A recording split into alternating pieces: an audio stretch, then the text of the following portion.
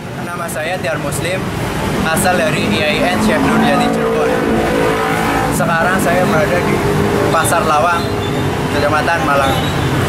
Yang di sini saya sedang melaksanakan kuliah lapangan, terutama di daerah Lawang ini. Pasar Lawang ini merupakan sebuah pasar yang lumayan besar, tetapi di samping-samping pinggiran itu masih terdapat sampah-sampah yang berserakan. Walaupun ada petugas-petugas yang tiap so, tiap saat ada yang membersihkan, tetap tetap saja ada masih ada saja sampah yang berserakan.